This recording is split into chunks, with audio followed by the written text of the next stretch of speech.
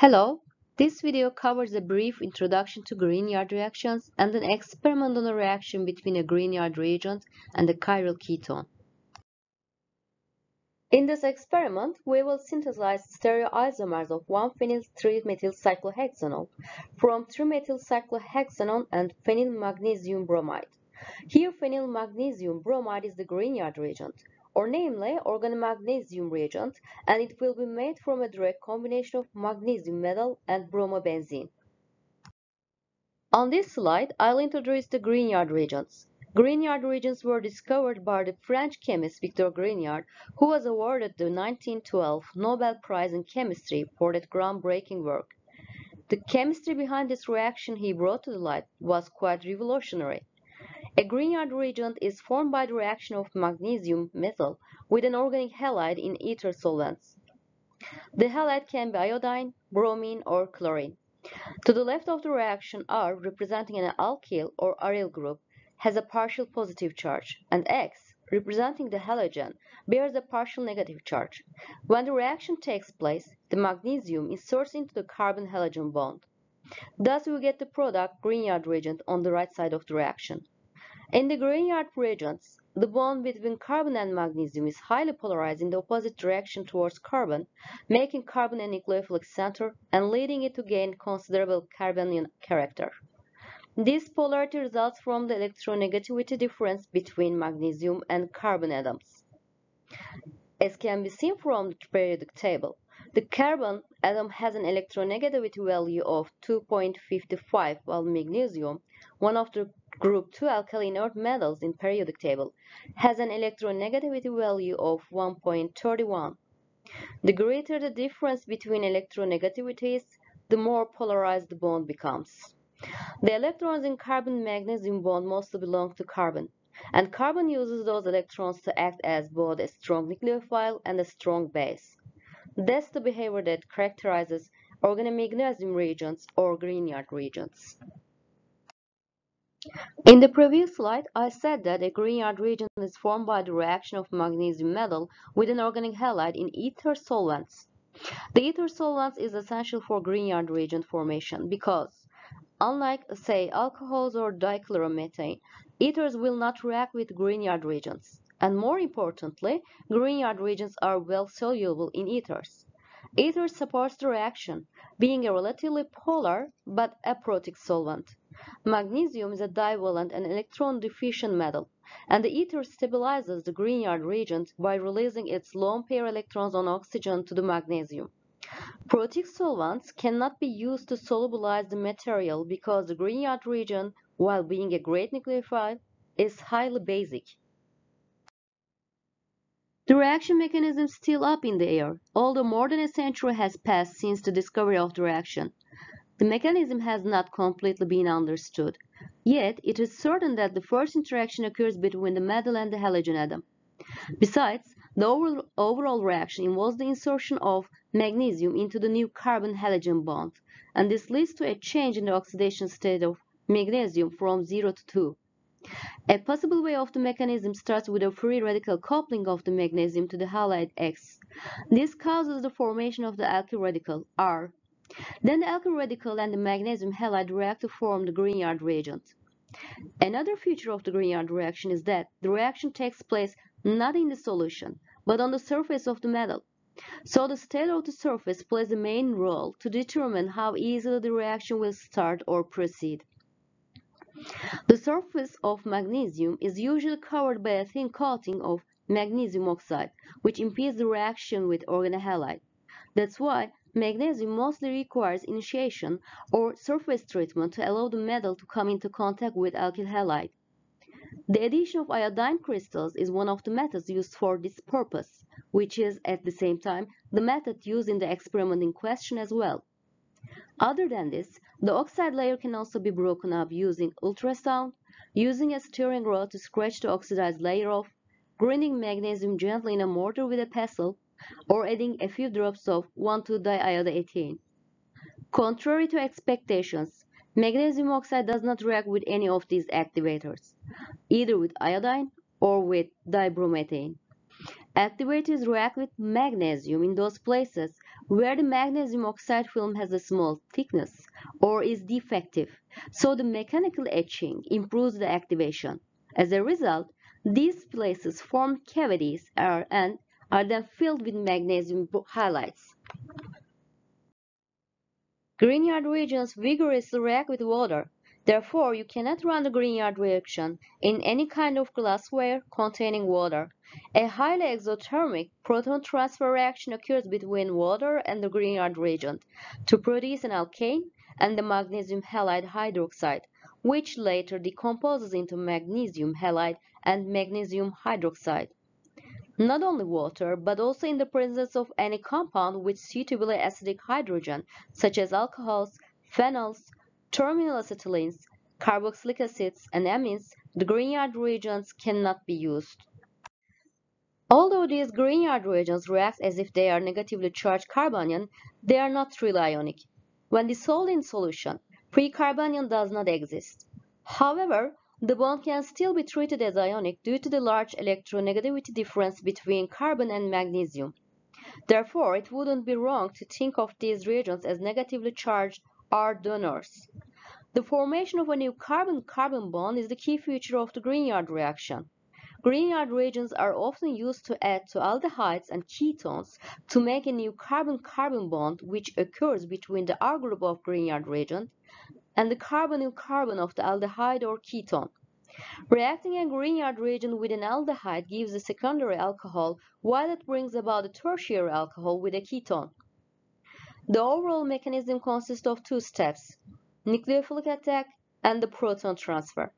The Grignard reagent acts as a nucleophile and attacks the carbonyl group and then the resulting alkoxide ion is protonated to form an alcohol. Usually a water workup step is needed to protonate the negatively charged oxygen of the formed alkoxide.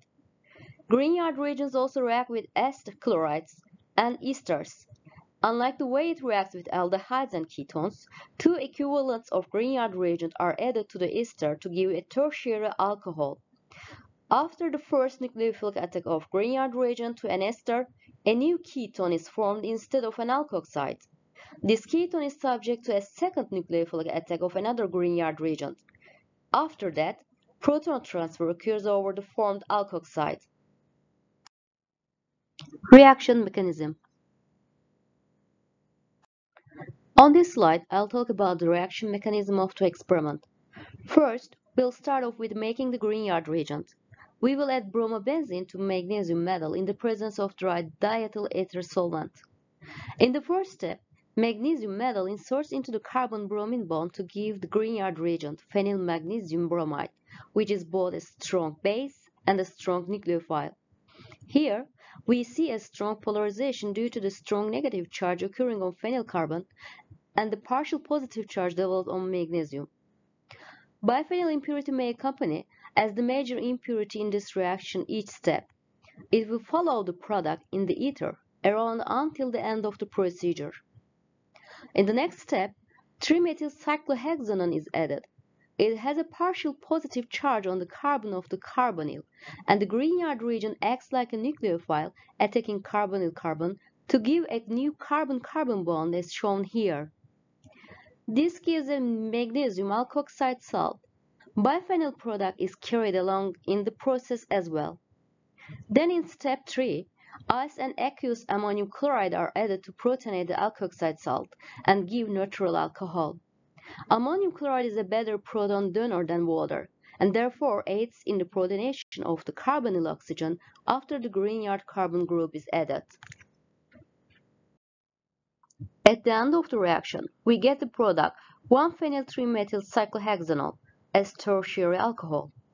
Because this molecule has two chiral centers, based on the 2 to the power n rule, it must have four stereoisomers. Different combination of those four stereoisomers give two pairs of enantiomers and two pairs of diastereomers. As seen in the picture, stereoisomer having SS configuration must have an enantiomer with an RR configuration. Likewise, an RS configuration matches with an enantiomer having a counter configuration of SR. When it comes to the diastereomers, one of these two chiral centers must have a common configuration while the other one has an opposite configuration. Experimental procedure before moving on to experimental procedure, we should touch on some safety issues and challenges that we may face in this experiment. Diethyl ether is an extremely flammable chemical. It must be handled carefully. Bromobenzene is a toxic chemical. You must avoid breathing vapors and wear gloves when handling. Magnesium is a reactive metal and it gives off highly flammable hydrogen gas when it contacts acid. If you have leftover magnesium turnings at the end, you should not throw those in the regular waste jack. There is a special waste jack for magnesium. Water is very detrimental to this experiment until you purposely add it in the workup step. Do not wash any glassware to be used in the reaction with the water on the same day that the experiment is run. Do not handle anything that will contact the reaction mixture with your bare fingers to avoid your fingers moist material. Before starting setup, you must make sure all glassware is completely dry and there is nothing around that has the potential to cause any wetness accidentally. There are at least two ways to set up an addition and reflux, either by using a three-neck round bottom flask or a one-neck round bottom flask with a Claisen adapter. Depending on the idea of the less inlet of a closed system has, the more efficiently the reaction will proceed, we'll pick the round bottom flask with one neck and the Claisen adapter attached to it. Start setting up by putting a magnetic stirrer in a 100 ml round bottom flask. Then insert a Claisen adapter into the flask. Connect the condenser to the side arm of Claisen adapter. If the side arm is not vertical, put the condenser on the vertical one. Every so often you may need to add a compound to a setup while reaction is going on, usually along with a reflux. You can use a separatory funnel as an addition funnel if it has a ground glass stem with a drip tip on the end. Place the separatory funnel directly above the round bottom flask. You wouldn't build up a vacuum inside the system because you'll put a drying tube on top of both the condenser and the separatory funnel. You won't need to use it, but just in case the joint of the drying tube does not fit with the joint of any of this glassware, you can use a thermometer adapter as bridging between them. And here we see the final view of the experimental setup. Since Grignard reagents are very strong bases and very sensitive to water and air, drying tubes are used in these organic reactions to prevent moisture from the air from entering a reaction flask. In this experiment, we'll use a calcium chloride drying tube. Calcium chloride is an economical and widely used drying agent with a high drying capacity. It is available in both powder and granular form. The granular form is often used in drying tubes. You start packing a drying tube by placing a piece of glass wool into its bulb with the help of a stirring rod. The size of the glass wool must be as large as the bulb itself so that it fills all the space inside the bulb so we can make sure that the calcium chloride granules will not fall out of the tube. Then use a funnel to fill the tube with calcium chloride beds to a depth of a few centimeters. Complete it by stuffing another piece of glass wool into the tube to act as a stopper. Glass wool and drying agent must always be packed a little bit loosely because they provide a path for release of pressure which can build up during a reaction. In other words, if they are packed so tightly that air cannot flow through them, they will seal the system and may cause an explosion. I want to draw your attention to the amount of chemicals we will use in this experiment. Even though we will follow the exact procedure, we will be using only 80% of the given amount of each chemical. To a 100 ml round bottle flask containing a magnetic stir bar, add 0.4 gram of magnesium turnings weighed on a watch glass and 0.8 gram of iodine crystals. Measure 4 ml dry diethyl ether right before adding it into the flask and make sure you tightly attach the lid of the container back after removing the ether. Into a separate small size Erlenmeyer flask, prepare a solution of 1.84 ml or roughly 1.9 ml bromobenzene in 8 ml dry ether. Add this solution into the separatory funnel with a quick remove attach move of the drying tube and dropwise on magnesium via the separatory funnel. This dropwise addition step may take about 45 minutes. Do not turn on the water of the condenser yet, because moisture may condense on the inside of the condenser. After the yellow color disappears, the reaction starts. By the way, do not forget to keep the heater of the hot plate off. You'll only need to use its stirrer function. If you place a clean and dry crystallizing dish between the flask and the hot plate at the very beginning, you won't need to rush to place it there in case required. Instead, you can get a water bed ready very practically just by adding cold water prepared in a beaker beforehand into crystallizing dish. Some reactions will begin right away, and others may take up to the 5 to 10 minutes. If no reaction is apparent after 10 minutes even though you added iodine crystal, first try to induce the reaction by swirling the flask. To accomplish the swirling easily, loosen the clamp and raise the apparatus setup as is at a height above that is not gonna hit the crystallizing dish you placed beforehand. Hold the neck of the round bottom flask, then push back and forth to stir. If this doesn't work, then warm the flask by holding it in your palms. Watch closely for signs of the reaction. Cloudiness, color change, bubbling at the surface of the metal, or a combination of the three are indicators that the reaction has begun. If all else fa fails, start another reaction using dry equipment. Once the reaction has started during the addition of bromobenzene solution, turn on the cooling water in the condenser and start the stirrer. At first, turn the water on very slowly and watch the rate of the flow. Water flowing should be kept at the minimum required level.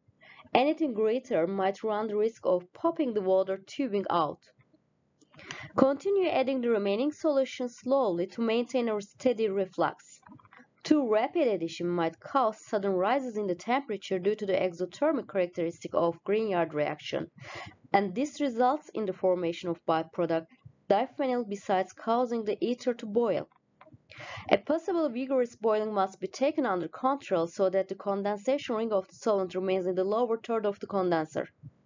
To do so, the reaction flask can be cooled by cold water as explained before, but not to the extent that will stop the reaction. After all solution has been added, the reaction mixture must be stirred up for, for about 15 minutes. At the end of this period, if any magnesium is observed left as undissolved in the flask, reflux might be applied very gently. Finally, the flask is allowed to cool to room temperature before moving on to the next step. Measure 8 ml dry ether and 1.7 ml 3-methyl cyclohexanone. Prepare a separate solution by mixing them in the smallest size of the Erlenmeyer flask. Transfer this solution into the separatory funnel. Make sure that stopcock is closed before you do it. Use the separatory funnel to add this solution slowly and dropwise into the reaction mixture. After the addition is completed, stir the mixture for 30 minutes. Then remove the reaction flask from the experiment setup. Protonate the product by adding crushed ice and 8 ml of 10% aqueous solution ammonium chloride subsequently. Transfer the whole mixture into a separatory funnel to separate the ether layer. After separating the ether layer, extract it with a 12 ml saturated solution of sodium bicarbonate. Repeat the extraction and separate the organic layer from the aqueous layer into a beaker one more time to dry it with sodium sulfate in the next step. Add only the required amount of sodium sulfate to dry the organic layer. Weigh a 50 ml round bottom flask and then filter the mixture into it by gravity filtration. You can use either a filter paper folded into a cone in a glass funnel to filter out drying agent from the reaction solution or a wad of cotton loosely placed into the neck of the glass funnel. In the last step, remove the excess solvent by rotary evaporation and weigh the mass of the product you got.